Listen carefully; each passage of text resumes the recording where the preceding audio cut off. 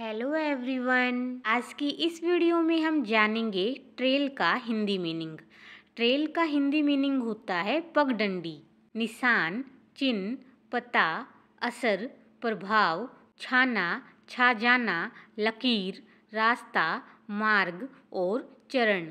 Sentence है the trail had gone cold रास्ता ठंडा हो गया था। आई होप आपको इस वर्ड का मतलब समझ आ गया होगा। आज की वीडियो में बस इतना ही। Thank you for watching